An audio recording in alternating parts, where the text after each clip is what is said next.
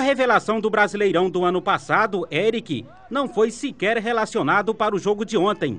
É bom lembrar que na semana passada, Hélio dos Anjos já dava indícios que isso poderia acontecer. Ele sabe que ele, vai, ele e os outros vão ter que construir a titularidade todos os dias. Ontem e hoje, o jogador participou de treinamentos para os não relacionados para a partida. Chegou a marcar uma entrevista com nossa equipe de reportagem, mas no horário combinado foi orientado a não falar. Beleza? o pessoal aí tá enchendo minha paciência aí. Não, mas diz que fora pode. Foi o que o Luiz falou. Não, ainda mais que, que Não o pode aqui assunto dentro. é, é muito sério. Beleza? Você mesmo demonstrou interesse de falar, não foi? Eu- foi. Não, porque me ligaram, me procuraram. Foi eu que liguei. Aham. Aí eu peguei, conversei com o Luiz e falou, não, é, na noite. Aí eu falei, não, então beleza. Tá bom?